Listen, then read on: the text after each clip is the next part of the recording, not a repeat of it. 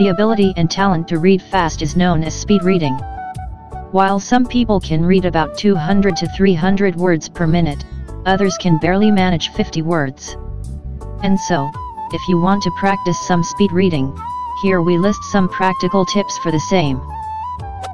Before reading something new or starting a new chapter or book, spend a few moments previewing it. Skim the headings, subheadings, and any bold or italic text to get a sense of the structure and main ideas. The more words you know, the faster you'll be able to recognize and understand them while reading. Make a habit of learning new words regularly to expand your vocabulary. This will also stop the occasional looking up words which can distract you. Guide your eyes along the lines of text using your finger or a pointer.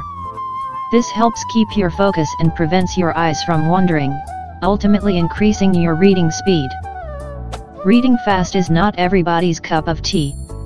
Some people read 100 words a minute, others just 40 to 50. So, like any skill, reading speed improves with practice. Set aside dedicated time each day to read, and challenge yourself to gradually increase your speed.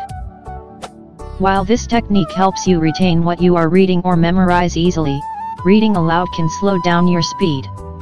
Try to minimize this habit by focusing on visualizing the meaning of the text instead. While this technique is easier said than done, but try to train yourself to take in more than one word at a time. Instead of fixing your eyes on each word individually, try to see groups of words or entire phrases at once. While it is important to revisit text that you couldn't understand to make sense of what you are reading, doing this constantly can set you back. So resist the urge to reread by being present when you read the sentence for the first time. The biggest factor of not being able to read quickly is being distracted by things.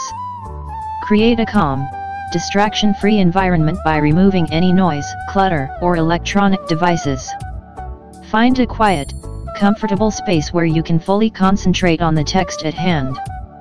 There are numerous applications and websites available that let you paste the text onto the text box and then they dictate and move the sentence according to the speed you select. This can help form a habit of speed reading. In the end, make sure to take regular breaks as speed reading is kind of tedious. Reading for extended periods without breaks can lead to fatigue and decreased comprehension which will stop you from improving your speed.